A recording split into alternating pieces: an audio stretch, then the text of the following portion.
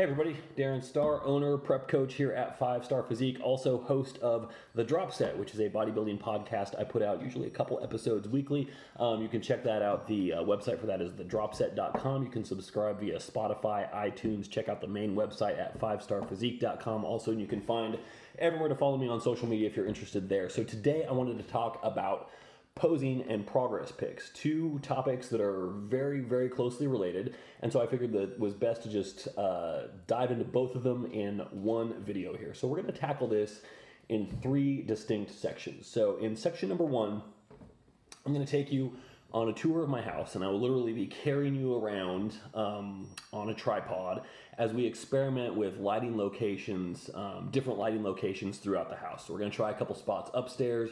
We're going to try a couple spots downstairs in the basement, which is the area that I usually use. I'm going to see if I can find a better spot than what I typically use, and also just talk about okay, what works, what doesn't work about this.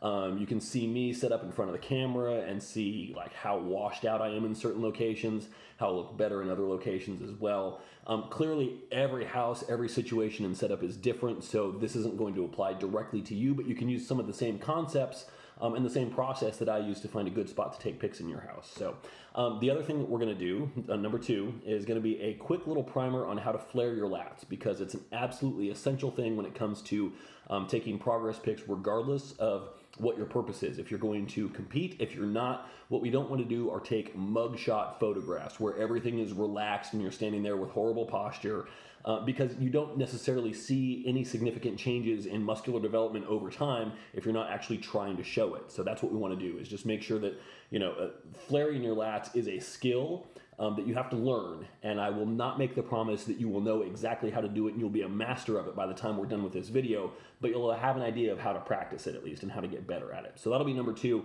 And then number three, we're gonna walk through the quarter turns, front, side, back, other side. Again, whether you're competing or not, these are typically the photos that I wanna see. If you are competing in a specific division, I may, may wanna see additional photos as well, um, additional poses, but these are the main ones that I pretty much always wanna see. So let's get good at them, let's master them, show ourselves off as best we can, and then everyone's gonna be happier going forward. So let's get down to it. Okay, so as I promised, here we go. Um, I'm just carrying you around on my tripod. We're gonna kind of go throughout the house and explore some things. You'll have to forgive me, I did not clean up before we started this. So let me show you an example of what's probably not gonna work, and that is pointing your camera at some big open windows. Um, hi, yeah, can you see much detail here? No, not really. So um, usually you want to light the subject. In this case, that is you, which means that this will work better. So all those big windows, we've got three here, a big door, and then three more right there. If we put the camera behind those, or those behind the camera, and then step back from it, okay, now you can see me a little bit better.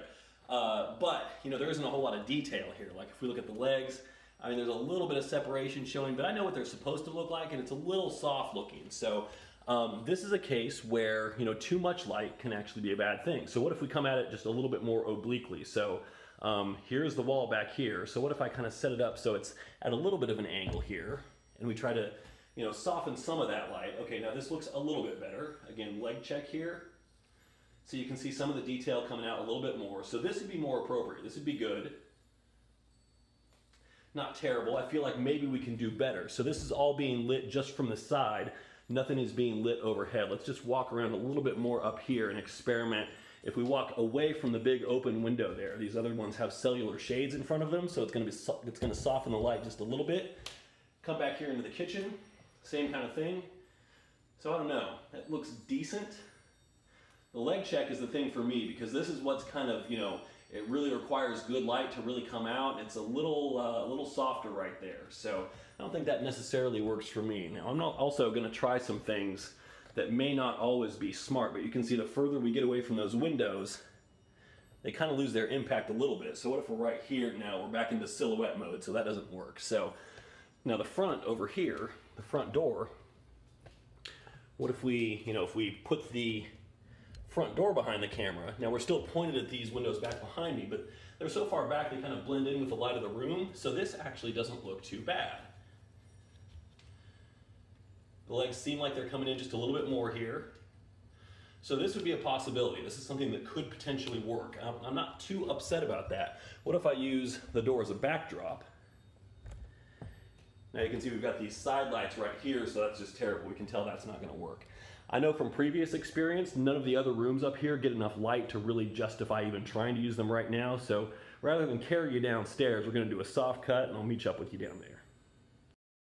Okay, so now we're down in the basement. Now this is usually where I take my progress pics, but I also usually take them early in the morning on Saturday before the sun comes up. So things are gonna look a little bit different down here with natural light creeping in through the door and the windows back here. Um, the other thing about the basement is we have 10 foot ceilings in here. So um, all of the lights are floodlights in the ceiling as well. So you can see behind me here, I have some control over what I turn on and off.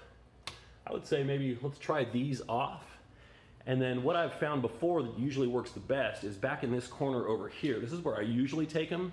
There's one light here that's kind of shining down and I'm gonna position it between the camera and me. So this is the spot where I usually take my pics. And so imagine also, this is usually black, um, just because I'm usually taking these in the morning. So uh, it's gonna look a little bit different right now, but as you can see, the overhead lighting is a lot more dramatic. So now the thing about that is it may not be exactly true to life. The more dramatic something is, um, the more uh, flattering it's going to make you look, which isn't necessarily always what we want. But I do find this to be a pretty accurate representation usually. Um, and also notice like, um, you know, your upper body can certainly cast some shadows on your lower body, but the leg separation here, it's coming out pretty well. So I'm pretty happy with this spot. This usually looks pretty good. Now also, behind the camera here is just a blank wall. So what if we take this light source here out of the picture just by turning the situation around a little bit?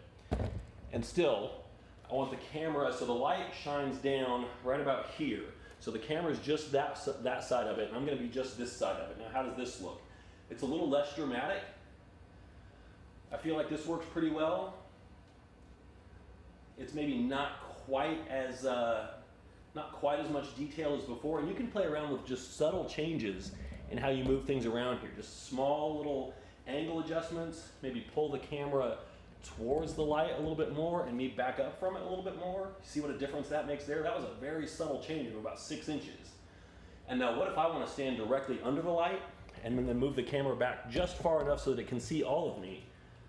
Well, you can see now everything's in shadow, so that doesn't work. So you've got to give the light room to work. But if you have the light come down kind of right on top of the camera and then step back from it, that works pretty well. I kind of like that. There are some hazards with little pieces of dog food all over the ground here, so I'm stepping on dog food Legos the whole time. That's not fun. Um, let's check out a couple other spots though and see what we have over here. So if we get closer to the window, I've experimented with this before. So this is something where we start to lose the benefit of our overhead light and we get something that really just tends to wash everything out. So this is not an inaccurate representation of how I look, but it is going to hide a lot of that detail. You can see that nothing really jumps out as much over here. And when you've got progress photos that you're trying to either evaluate for yourself or send to somebody else, I always find it best to overdo it on the dramatic lighting a little bit, just to make sure that whoever you're sending it to can see everything that's there, even if it's not always present to the degree in which you show it in the pictures, um, just because they can see you know, what the potential really looks like and what can be there. If we turn around here and use this door as a backdrop. So the problem here is most of my light is coming from this side. So this side of my body is going to be well lit and this side is going to be in shadow. So it may make things appear asymmetrical. Like we can see, now this leg generally just shows a little bit more separation than this one anyway, but now it's really evident. So, and a lot of that's just because of lighting. Um, what if we use this wall that the stairs are on as a backdrop here does this make any sense at all?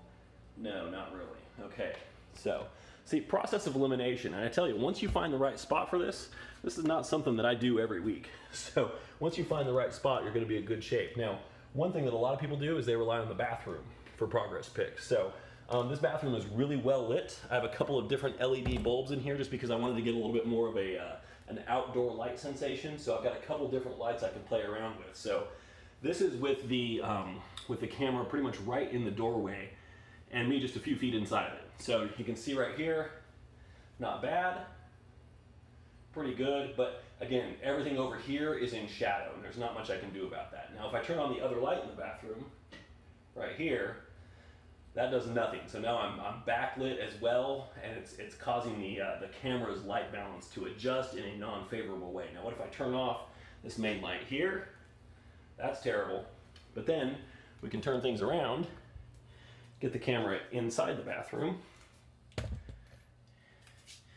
And so now we do have a little dividing wall right here. You can kind of see this dividing wall. So the light that's right up there, it's not gonna make it back here. So you can see shadow, shadow, shadow, a little bit of light over here, but not much, not a lot of detail creeping in. So if we shut the door, turn this light back on, a little bit, not much. And if we turn this one off, I mean, yeah, from this pose, that looks great, but you know, it's not really a, not really a good optimal setup for much of anything. The only thing that might work is if I put this camera like right here, so the light right there is casting on me pretty effectively. It's kind of a cramped space. I don't have a lot of room to work, but this is not a bad setup. So you know, in a given spot, you can find a lot of things that potentially work. Some work better than others. Um, but let's do one more thing and let's try going outside and see what we see out there. So my dog's gonna freak out when I open the door. Taz, you wanna go outside, buddy? Of course he wants to go outside. Okay. Go chase squirrels or something. So we can just try a little natural lighting outdoors on the patio out here and see what we see. So this is with the sun at the back. Now it's difficult for me to see the screen out here, so that's one limiting factor. I can't necessarily see what's going on. I also have a ceiling over me here, so I have our patio ceiling set up, so I'm not getting any light down directly on me. If I turn this around,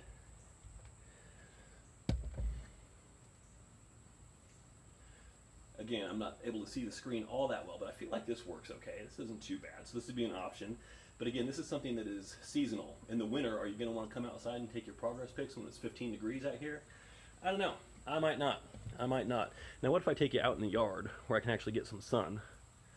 I just have to be careful where I step. Keep in mind, we've got two dogs. Now, really, I can't see a thing out here. I feel like there's a lot of shadow.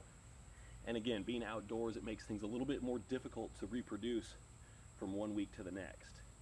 So, you know, levels of sunlight, time of day, season of the year, all those things are going to have big, big fluctuations in how your progress looks from progress picks look from one week to the next. So I think I'm going to stick with that one that we saw under the floodlight back there. So let's go on to step two. We'll talk about flaring our lats and then we'll jump into the quarter turns.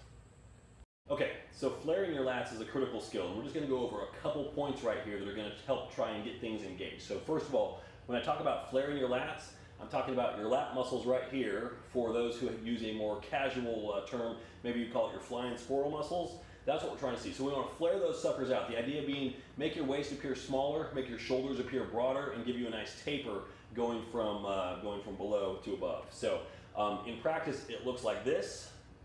So you can see things are flared, they're engaged. Now the background behind me makes this a little bit tricky. That's another thing to consider when you pick your location is you know, what, what's behind you and is it going to be distracting? So that bookcase kind of sucks a little bit. But there, we've got flared lats. So awesome. Now, also, I can tell you my lats are flared right now. So a lot of people equate flare your lats with stick your arms out to the side like a, like a doofus. And that's not what you have to do at all. So what you can, if your lats are engaged, if they are flexed, then they are flared.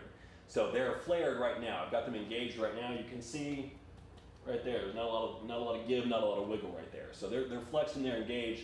And I can walk around like this pretty much all day as long as I think about it. It's not a big deal because I've been practicing this for a long time. It's all up here. It's a skill that you learn and get better at. So um, now what we do and why we pose like that is you get your arms out from your body a little bit so then you can see them. Like they're they're flared right now, but you can't see them. So you've got to give them a little room to breathe so that you can see that taper and create it. So then how do you do it? Well, it starts by getting really good at manipulating your shoulders. So start with your shoulder protraction, roll your shoulders forward, shoulder retraction, pin them back behind you. Protraction, retraction, protraction, retraction. And as you do that, just start to feel what the lats are doing there. They might not be doing a whole lot, but if you do it enough and like, you know, roll your shoulders forward and then just squeeze everything right here. You'll notice like your lats kind of want to jump into the party there and get and squeeze as well. You pull them back, they can do the same thing. You can feel them squeezing down a little bit lower here. So again, it's forward and back, forward and back. And so this kind of warms up the lats and gets a little bit of blood in there, and they're always a little bit easier to manipulate once you do that. What I usually recommend getting into for a posture to start with this is roll your shoulders forward, like really like stretch your traps out behind your back, roll your shoulders forward, and then lift your sternum up and make yourself as tall as possible and let your shoulders fall back into a neutral position when you do that. Now, that kind of gets your lats set up to the point where then you can flare them. And I don't think you'll probably be able to see this, but you create a little bit more tension in there. And it's almost like, you know, if somebody was holding your hand out here and you were trying to pull against it, well, it's your lat that's going to be doing that pulling. And, and your pecs as well, but your lats are going to be responsible for that. So there, there isn't a magic secret for this. If you do a YouTube search for how to flare your lats, you're going to find a whole bunch of videos where everybody says, I've got the solution. And I can tell you, none of them are the solution for everybody. One of them may be the solution for you. Now, what I want to impress upon you is it's important to figure out how to do it. So watch all of those and practice it until it clicks. Try what I'm showing you here. That may work great. It may not do anything for you. Great. Do the search, move on down to the next video and try it. There's a whole bunch of different techniques in there. One of them is gonna make sense and click in here. Keep working on it until you try it, get used to it, and then master it from there. Okay, and finally let's talk quarter turns here. So now when doing these poses, first of all, always have your phone in portrait mode, turn that way, as opposed to how you're watching it now in landscape mode. I have it in landscape mode because I'm posting this on YouTube, and if you post a video in portrait mode on YouTube, you're officially a stupid jackass. And I don't want to be labeled like that, so I'm doing it in landscape mode. The downside is you're not going to be able to see my feet. So I'm going to tell you what they're doing. You also can't see my head, but trust me, you can hear what I'm saying, so it's all good. So what we're going to do here is front pose. So we're going to start, I want your feet about shoulder width apart. And then you're going to bend your knees just to soften them a little bit so they're not locked out. So if you lock your knees and then flex your quads, you're going to get a little bit of detail and separation in there. But if you bend your knees and then try to push your legs forward at the knee, you're gonna get a lot more separation that shows up in there. And then from there, it's all about making yourself as tall as possible, expand the rib cage, suck in the waist, flare the lats, shoulders up so they look nice and round, tense the arms a little bit, keep your hands relatively relaxed, and there you go. You can flex your abs a little bit, squeeze and bear down on them like so. They do a little bit. What you don't want to do is go like this and crunch down and think this is my abdominal pose. No, it's not. That's a common mistake. People make that all the time. That's the last thing you should worry about. Get your legs set, waist in, chest up, shoulders up, lats flared, and then without changing any of that, give them a little squeeze. You can pull up a little bit if you like. You can wear them down, up, whatever looks best. And then we're going to transition into the side pose. Just like this. So same thing. This leg, the one showing the camera, is going to be tensed so you're going to get as much weight on that foot as you possibly can. You're going to squeeze the obliques here, again, chest up. You're going to rotate at the shoulders a little bit so we can see this side of the chest, so we can see the back shoulder a little bit as well. Keep everything tense. Suck this in. That's the hard part here. And just hold like that. If you want, you can straighten this back arm, try to show a little bit of tricep there. And you can also lean yourself towards the camera a little bit so this front shoulder is slightly lower. Now the back pose, because of the way sound works, I won't be able to talk to you while I'm doing it. I will tell you it's largely the same as the front pose. Foot positioning is the same. Instead of flexing the quads, you're going to try and activate and engage the hamstring. I'll show you what I mean. And then the, the setup here is all the same. For the front pose, if you can see here, I'm usually going to be set up just like this with my shoulders kind of neutral. On the back pose, I'm to arch everything back just a little bit more so I can get the spinal erectors engaged and it makes it a little bit easier to squeeze everything back, but I'll also show you what not to do. So first of all, what not to do is this. So when you pull the shoulders back like that, you're removing any and all width you have through the back and the shoulders. So don't retract the scapula, which looks like this. I mean, you wouldn't have a front pose that looks like this. You want a front pose that looks like this, with everything spread out. You want to show width. So that's what your back pose should look like too hamstrings engaged.